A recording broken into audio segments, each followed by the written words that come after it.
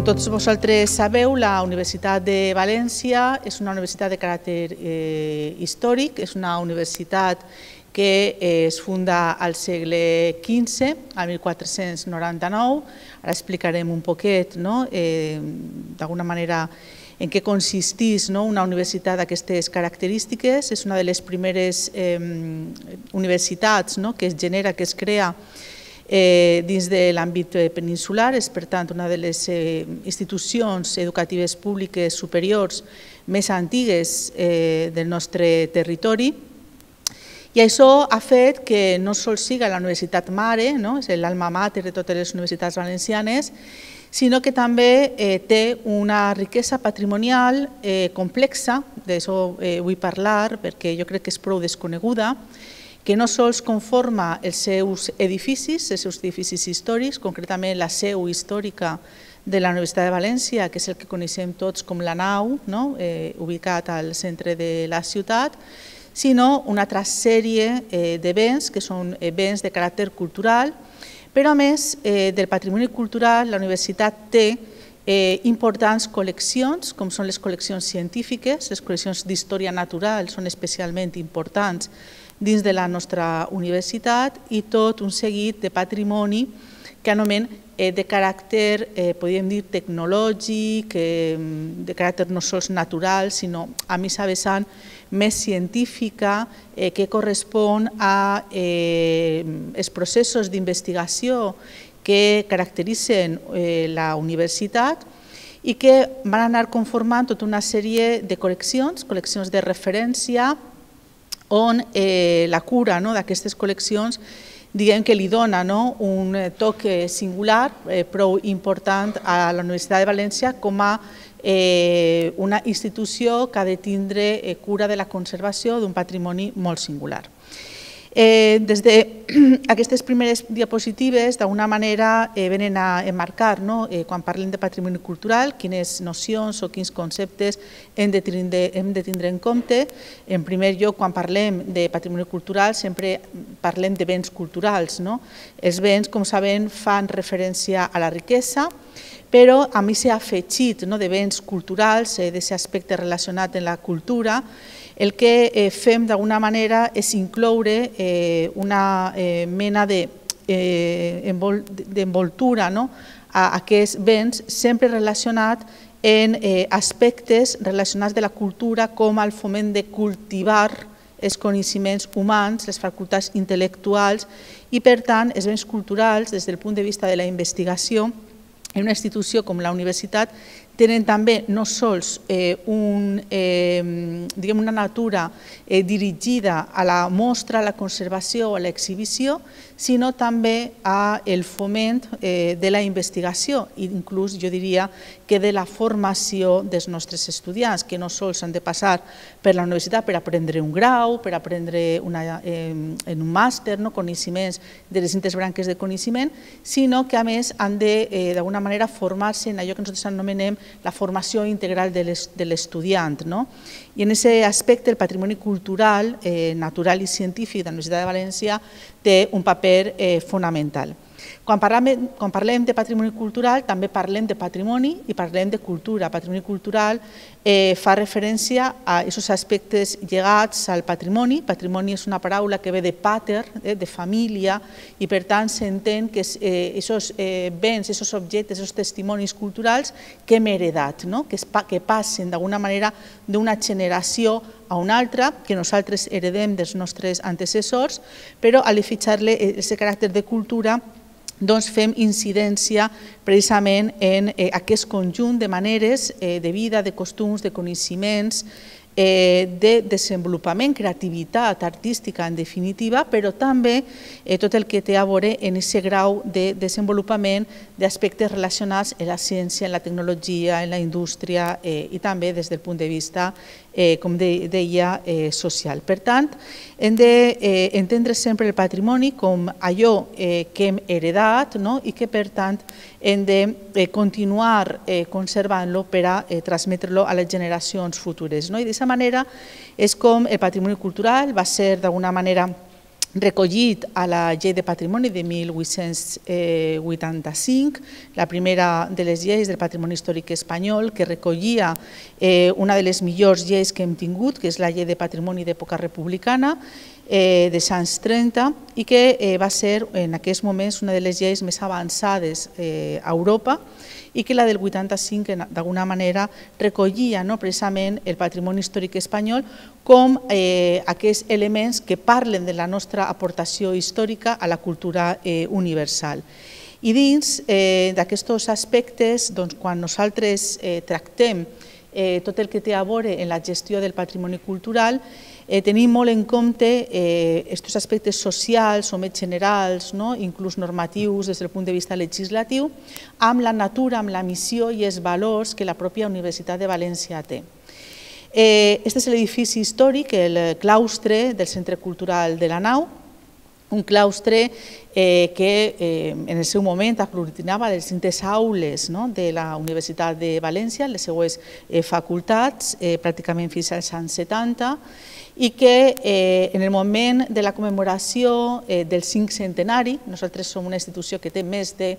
eh, 523 ja anys, eh, va eh, conformar-se com a un centre eh, cultural. Eh, jo no parlaré de la dinamització cultural no, que s'integra dins del centre, que forma part del nostre eh, servei de cultura universitària, però sí que mencionaré que, tenim, que tenim la sala Matilde Salvador, que és la sala de teatre, tenim quatre sales d'exposicions, Martínez de Recabetia, Acadèmia, Estudis, Oberta, la Duc de Calàbria, i ara hem obert una eh, darrera sala d'exposicions, que és la sala de Vigues, tenim el Paraninfo, que és la sala teatral el, diguem, més institucional, on fem les cerimònies eh, d'abertura de curs i eh, diguem, més protocolàries, que és una sala eh, renaixentista eh, del segle XVI. Tenim les restes arqueològiques de la muralla islàmica, de les primeres cases de vivendes que es van comprar i sobre les que es va fundar la pròpia universitat. Tenim la biblioteca històrica, eh, una de les millors biblioteques eh, eh, d'Europa eh, per la diguem, no la quantitat, sinó la qualitat de eh, manuscrits especialment, de codis, etc., que eh, se conserven a la, a la biblioteca eh, que especialment està conformada per la rica biblioteca que a través de la desamortització va arribar a la Universitat de València, que és la biblioteca napolitana del duc de Calàbria, que estava a Sant Miguel dels Reisos i que va conformar part del fons actualment de la pròpia Universitat de València. Nosaltres, eh, des del punt de vista de la gestió de la cultura, eh, treballem en aules de programació, una aula d'arts escèniques, de teatre eh, i eh, de dansa, tenim grup de teatre, grup de dansa, i concretament eh, entre els grups de teatre més consolidats està Escena Erasmus, que és el teatre que fem en els estudiants eh, Erasmus que venen a visitar-nos, que aprenen eh, valencià eh, i castellà i que eh, d'alguna manera eh, fan convivència i després tot un tour no? per eh, el territori valencià en els poblets més xicotets no? que estan eh, pràcticament en un perill de despoblament eh, molt clar. No? Eh, alguns s'anomenen la, la València vaciada, la València vaciada, la València buida, i eh, també tenim una aula de música, eh, músiques urbanes i música clàssica, amb una orquestra, l'Orfeu Universitari, escors, bueno, eh, la veritat és que eh, tenim eh, també les exposicions, eh, les conferències, els debats, memòria històrica, les aules eh, en definitiva de programació. Però dins eh, del patrimoni cultural Eh, el servei eh, té un director, que és el professor Adrià Bessó, que és company meu del Departament d'Història de l'Art, i el professor Adrià Bessó s'ocupa concretament de eh, custodiar, exhibir, difondre el patrimoni cultural de la universitat. Així tenim algunes fites no, cronològiques que expliquen eh, com està conformat el nostre patrimoni. Al 1499, com sabeu, s'aproven les primeres constitucions de lo que s'anomenava en aquell moment l'estudi general per part del Consell de la Ciutat, i això és molt important perquè la Universitat de València, a diferència d'altres universitats espanyoles i europees, no va ser una universitat eh, que el seu origen va ser religiós, Vull dir, no, està, no és una escola universitària lligada a una catedral, un cabildo eh, o a l'àmbit religiós, sinó que van ser els jurats de la ciutat, és a dir, és una eh, universitat eh, que l'origen eh, és municipal, no? eh, per tant, molt lligat a la ciutat de València amb la intenció de que l'ensenyament, la formació, arribara a tots els ciutadans per igual. No? I això forma part, eh, diguem, eh, del, nostre, del nostre propi esperit. A partir d'aquest moment, eh, de les fites més importants van ser al segle XVIII l'aprovació del pla d'estudis del, del rector eh, Blasco, que mm, tenia tot un seguit de plantejaments de caràcter il·lustrats, no? que van marcar molt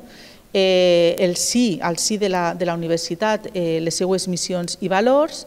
Al 1785 se va inaugurar la Biblioteca Històrica amb eh, els llibres de la biblioteca que va ser donada i cedida per el propi rector Blasco, una biblioteca eh, il·lustrada eh, eminentment magnífica, que després se va enriquir amb aquests fons napolitans eh, eh, d'època especialment renaixentista, humanista, del duc de Calàbria. Al 1802 se va obrir el Jardí Botànic, el nostre Jardí Botànic, el Jardí Botànic de la, de la Universitat de València, eh, és nostre, és de la universitat i forma part del nostre patrimoni cultural, amb eh, tota una eh, riquesa, podríem dir, natural, eh, de plantes no? eh, endèmiques, amb la cura de la conservació de llavors, d'espècimens, etc., que fa també eh, un treball magnífic, per exemple, a la Pora de Balbona, la custòdia, la conservació i la rèplica, no? la reproducció de la jara de Cartagena, que és una espècie endèmica de la Pola de Balbona, se fa eh, des del nostre jardí botànic amb eh, les persones, no? que les facultats de biologies especialment, o l'Institut Cabanilles, eh, treballen eh, en la cura eh, i en la conservació d'espècimens de caràcter natural. Al 1870 es va crear l'Observatori Astronòmic. Eh, L'Observatori Astronòmic que tenim eh, tenia el seu lloc principal al propi edifici del Centre Cultural de la Nau, però va ser destruït a la Guerra Civil i ara tenim l'Observatori Astronòmic d'Ara de los Olmos, que segur que vosaltres eh, coneixeu, i el que està situat al nou campus científic que es va generar ja al segle XX, que és el campus de Burjassot. L'Observatori Astronòmic és també patrimoni cultural perquè des de, 1800, eh, des de 1861 tenim eh, tota una col·lecció importantíssima d'instruments científics, de, de col·leccions de caràcter patrimonial que formen eh, part de eh, l'Observatori Meteorològic i posteriorment eh, l'Astronòmic. I al 1872 se projecta el primer museu o gabinet d'història natural que ha canviat de nom en distintes ocasions, va ser eh, després eh, Museu de eh, geologia, eh, especialment per la importància dels minerals eh, que custodiava, entre ells algunes restes de meteorits no?, que es conservaven al País Valencià i que se conserven a Universitat de València, però que ara mateix eh, ha retornat el nom a Museu d'Història Natural i que integra eh, doncs, eh, el que normalment està a un Museu d'Història eh, Natural espècimens dissecats, evidentment, eh, col·leccions entomològiques, eh, col·leccions eh, de conxes, eh, etc., que formen part eh, d'un dels millors museus d'història natural que tenim a, a València. Des del punt de vista del patrimoni immoble, la Universitat de València té dos edificis que són béns d'interès cultural, l'edifici històric, la nau, eh, que tots coneixeu, i el propi jardí botànic. No? Els dos estan declarats com a béns d'interès cultural. I després un seguit important i jo crec que molt singular de béns de rellevància local des del punt de vista arquitectònic, eh, especialment ubicats al campus de Blasco Ibáñez, doncs a partir de 1970 eh, com sabeu, la universitat es trasllada no, a lo que en aquell moment s'anomenava el passeig al mar, no, que és l'avinguda Blasco Ibáñez, on van començar a situar-se les primeres eh, facultats. Les facultats més antigues eh, se van traslladar eh, al segle XX. Primer la Facultat de Medicina se va ubicar no? on estava la Biblioteca Històrica, a Guillem de Castro, que des i després va eh, anar-se cap a l'Avinguda de Blasco Ibáñez i el que s'anomenava la Facultat de Ciències, després de Farmàcia, etc., que és el que avui és l'edifici de rectorat, i són els dos edificis més antics de Sants 20, abans, no, per tant, de la Guerra Civil, i que són edificis eh, construïts en un estil, podríem dir, art déco, eh? molt singulars, molt cridaners des del punt de vista arquitectònic, que tenen la consideració de béns de rellevància local.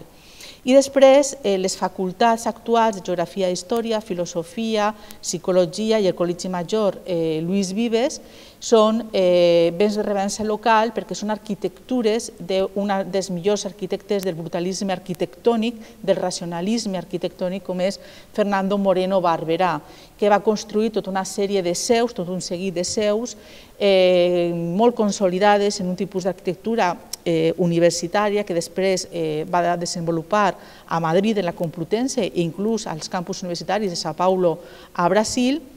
on n'hi ha una gran presència del cristall, del vidre, del formigó no? i eh, del metal, no? que, del ferro, no? que és eh, singular en les seues eh, construccions no? i que la veritat és que són imatges eh, que s'identifiquen molt, clar, molt clarament amb la Universitat eh, de València. Com sabeu, el Col·legi Major Lluís Vives ha, ha viscut uns eh, moments, no? eh, podríem dir molt polèmics, des del sí de la pròpia universitat,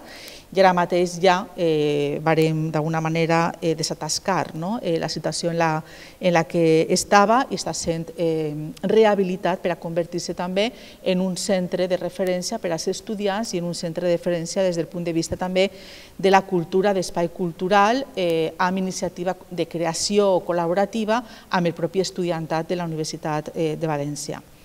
La Universitat de València també té dos campus, un en Gandia i un altre en Ontinyent, com sabeu, i en Ontinyent tenim el grup d'escola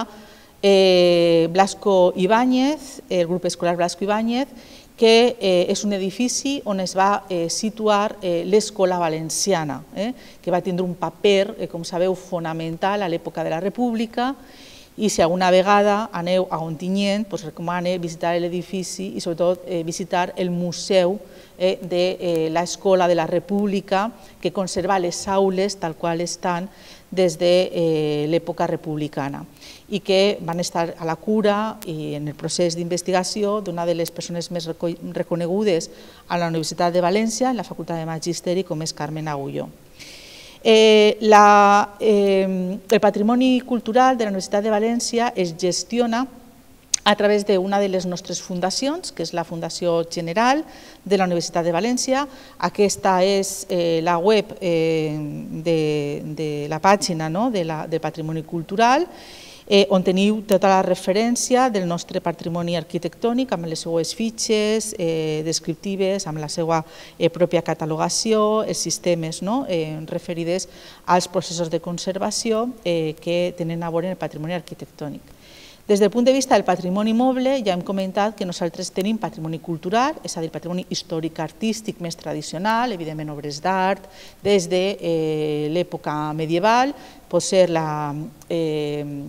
la obra més singular, és la que està a la Capella de la Sapiència, que és la Mare de Déu de la Sapiència, que és una obra de 1616 feta per Nicolás eh, eh, Falcó,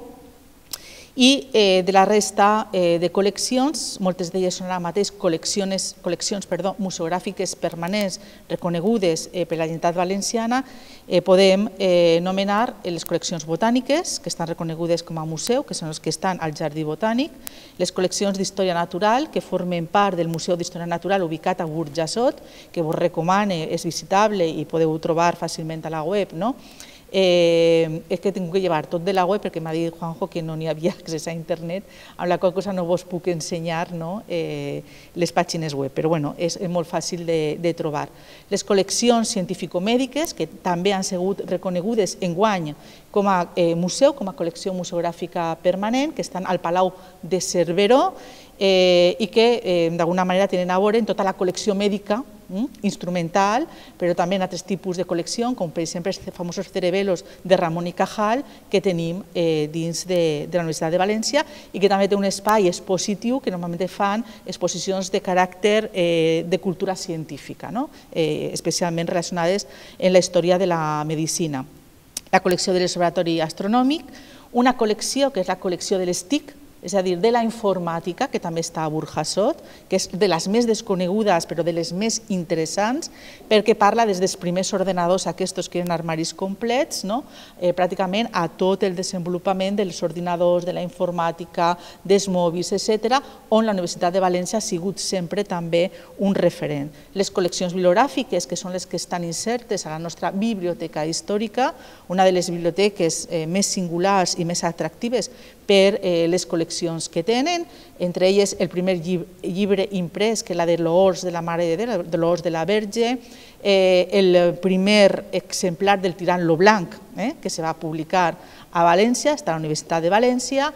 o, eh, per exemple, el primer recetari medieval més antic, que és el Sensoví, eh, que hem fet eh, la còpia digital eh, fa eh, un any. Les col·leccions documentals, les col·leccions històrico-artístiques, i la, o sigui, els quadres, les escultures, etc. I la col·lecció Martínez Guerricabeitia, que és una donació de eh, bueno, eh, el, un eh, diguem, eh, erudit, no, professor eh, Martínez Grecabetia, que tenia una col·lecció d'art contemporani especialment vinculada a l'art eh, de la República, del compromís polític, eh, Josep Renau, Equipo Crònica, Equipo Realidad, Anzo, etc., entre altres, no? i que forma part eh, de més de 700 obres que ara eh, estan a la Universitat de València, que és una de les col·leccions d'art contemporani més importants del nostre panorama cultural. I com deia l'Escola de la República, d'Ontinyent. No? Així teniu una, eh, una vista no? general de tot el patrimoni cultural hm? que eh, es conserva i que d'alguna manera eh, eh, se protegís dins de la, de la universitat, entre elles eh, algunes molt, molt cridaneres, no? com la col·lecció d'entomologia de l'Institut Cabanilles, eh, que és veritablement singular, i eh, nosaltres, eh, d'alguna manera, recollim també en els propis estatuts de la Universitat de València la defensa del nostre patrimoni cultural, dels béns mobles, dels immobles, que tenen un valor històric, artístic, arquitectònic, arqueològic, paleontològic, la col·lecció paleontològica també és molt significativa, etnològica, documental, bibliogràfica, científica, tècnica, etc., que d'alguna manera recollís no, eh, les, distints, les distintes normatives legislatives que existissin, des de la llei de patrimoni valencià, la del, la del patrimoni històric espanyol eh, i la pròpia eh, Constitució. Com gestionem aquest patrimoni? Evidentment, treballem la gestió del patrimoni des de la identificació i l'estudi, la conservació i la difusió d'aquest patrimoni. Per això tenim eh, un director, un director eh, de patrimoni cultural, que és un professor eh, per designació de la rectora, el professor Adrià Bessó, com ja comentava, i cadascuna de les col·leccions o centres de col·leccions particulars té o bé els seus propis directors o eh, persones a càrrec d'aquestes eh, col·leccions, que poden ser eh, personal eh, del professorat o de l'administració i serveis, quan estem parlant dels conservadors eh, de patrimoni científic, són generalment eh, d'administració i serveis. Dins del punt de vista de la identificació, eh, treballem en un sistema que és OMECA,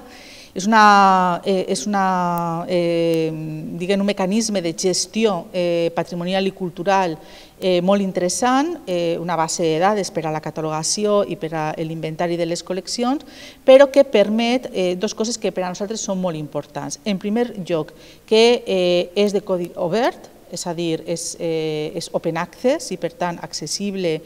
eh, a tot el món, no? no és una ferramenta privada o particular o contractada a través d'una empresa, sinó que és un sistema obert, és un sistema que empren eh, pràcticament totes les universitats eh, públiques i que permet, per tant, també generar una xarxa no? eh, de relacions de béns eh, culturals i que permet també el 3D, eh, dels objectes, però també la realització de visites o d'exposicions de caràcter eh, virtual. Així teniu un poquet no, com es treballa a través dels recursos, eh, com treballem el, els inventaris a través d'un tesaur, un, vocabulari eh, controlat, els grups de treball i eh, tot el que té a veure no, en eh, les fitxes que després estan obertes, eh, les col·leccions amb les fitxes de catàleg estan obertes a través de les nostres pròpies pàgines web eh, de patrimoni cultural i són accessibles a tot el món. I enllacen a més amb altres open access com és Roderick i, i altres altres eh, eh, singulars. Altres processos de gestió eh, parlen de les donacions i dels legats i dels préstecs d'obra, que per nosaltres són eh, dos elements eh, molt importants, especialment de les obres que estan magatzenades no? a eh, els magatzems i als peines de eh, la nau, i des del punt de vista eh, de la conservació eh, tenim dos eh, elements clarament diferenciats. No? Per una banda, tot el que té a veure en la conservació preventiva, que és el conjunt d'accions no? per a la salvaguarda eh, dels nostres béns culturals, amb els seus registres climàtics, de temperatura, les normes d'ús dels espais patrimonials, manuals de revisió dels propis edificis històrics, inclús els plans d'emergència i de riscos no? de les col·leccions patrimonials. I des del punt de vista de la restauració, treballen no? eh, en la nau dos restauradors concretament, especialistes en paper, no? per la importància de la biblioteca històrica i que també tenen el seu propi pla eh, director de restauració eh, que eh, bueno, eh, d'elles estem ara mateix en, la, en les restauracions de les obres pictòriques del nostre Paranif i també d'altres obres eh, singulars. Així teniu doncs, algunes de les eh, peripècies no? històrics, històriques més importants eh, que ha viscut eh, la Universitat de València, el gran incendi del 1932 que va afectar pràcticament tot l'edifici, que va destruir el primer Museu d'Història Natural que està ubicat ahir al pis del claustre superior on vegeu el foc i eh, la inundació, la gran inundació del 57, que va afectar molt la col·lecció bibliogràfica i documental i, de fet, encara eh, continuem en la neteja de moltíssimes obres que eh, estan enfangades, no? estan en el fang eh, de la Riua, perquè la col·lecció eh, bibliogràfica i documental de la universitat és mm, podeu, gigantesca, no? enorme, com podeu eh, imaginar. Així teniu algunes de, dels treballs, no? en aquest cas de restauració de les obres del Paraninf, o de la batalla del batalló d'estudiants d'època napoleònica, eh, eh, que són els voluntaris de la ciutat de València que van lluitar contra Napoleó i que va ser restaurada també recentment i que aprofitem també per a treballar el 3D i la seva eh, visualització a través de la, de la web. Des del punt de vista de la difusió, treballem amb les guies, eh, eh, que els estudiants eh, que eh, d'alguna manera eh, s'apunten al programa de voluntariat, diguem voluntariat, però en realitat, en realitat tenen un reconeixement de dos crèdits. Eh? No estem eh, fent eh, cap cosa que a mi no m'agrada especialment, era que la paraula voluntari no m'agrada per lo que significa des del punt de vista professional per a tots els que eh, treballem en aquest eh, sector. Però eh, fan les visites guiades eh, per eh, la nau i per, per totes les estances, se poden eh, apuntar no? eh, qualsevol col·lectiu per a fer les visites d'explicació del nostre patrimoni cultural. Ara hem ficat en marxa també la ruta de patrimoni cultural Lluís Vives per la ciutat de València, que és descarregable i se pot fer i que forma part d'un programa europeu eh, que es van donar un premi per la millor ruta de patrimoni cultural i hem eh, iniciat també la ruta de patrimoni cultural per Blasco Ibáñez, per els edificis de Blasco Ibáñez, tot amb eh, còdics QR, eh, la visita a les col·leccions de les exposicions, aquestes són les exposicions de l'Aduc de Calàbria, la sala d'exposicions de la biblioteca, per la resta de sales d'exposicions, i ahir doncs, eh, treballem en aspectes de difusió eh,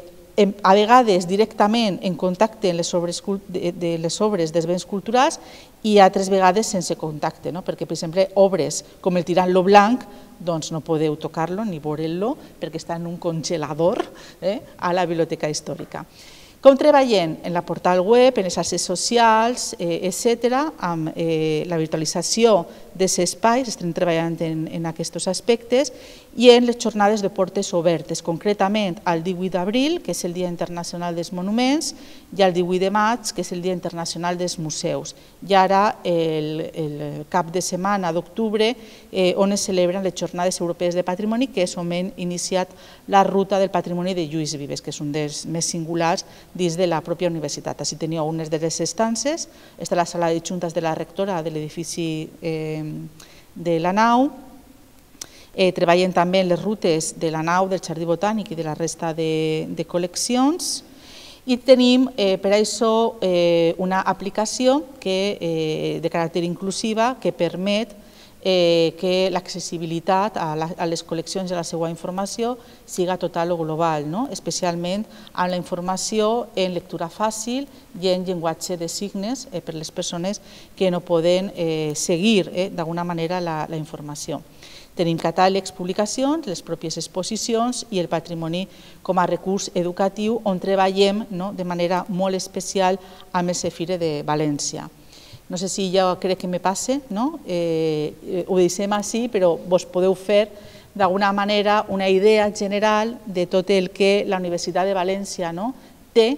que fica a l'abast del seu propi estudiantat, dels seus investigadors, però sobretot de la societat valenciana en el seu conjunt, que està oberta a tots vosaltres a través de la informació de les pàgines web, a través d'aquestes aplicacions que vos he mostrat, però molt especialment a través del voluntariat, és a dir, a través de les persones que guien eh, a instituts, a col·lectius, a famílies, etc., en eh, la mostra d'un patrimoni històric, com he dit, molt complex, però eh, molt interessant per tot el que abasta no? des del punt de vista patrimonial. I res, que la Universitat de València és casa vostra, perquè la Universitat de València també és patrimoni cultural de tots els valencians. No? Gràcies.